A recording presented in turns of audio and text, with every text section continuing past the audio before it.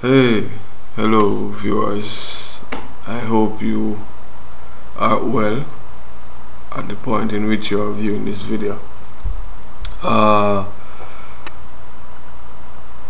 I have, how do you say, I, I, I, I'm encouraged to share one of my favorite um, chapters in the Bible and it's from the epistle of Paul to the Romans and it's uh, chapter 10. I'm going to read from verse 1 to about, well, I think about 13, but it's, it's a powerful one. I'm reading from the C, CEV version, so contemporary English version, and it reads, Dear friends, my greatest wish and my prayer to God is for the people of Israel to be saved. I know they love God, but they don't understand what makes people acceptable to Him. So they refuse to trust God and they try to be acceptable by obeying the law. But Christ makes the but Christ makes the law no longer necessary for those who become acceptable to God by faith. Moses said, a person could become acceptable to God by obeying the law. He did this when he wrote, quote, If you want to live, you must do all the law commands.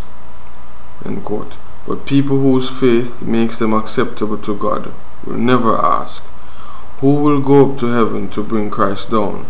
Neither will they ask, Who will go down into the world of the dead to raise him to life?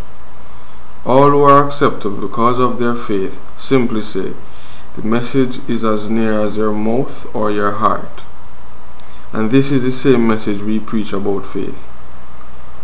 So you will be saved if you honestly say Jesus is Lord, and if you believe with all your heart that God raised him from the dead. God will accept you and save you if you truly believe this and tell it to others. The scriptures say no one who has faith will be disappointed, no matter if that person is a Jew or a Gentile. There is only one Lord, and He is generous to everyone who asks for His help. All who call out to the Lord will be saved. my apologies for my reading. it seems I haven't been reading much.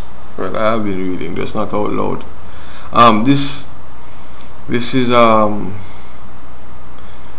this is to me one of the more important scriptures, especially Romans 10 verse 9. Uh, the King King James version to me is uh, it's a more powerful delivery. The King James version, uh, Romans 10 verse 9 reads that I think I should paraphrase.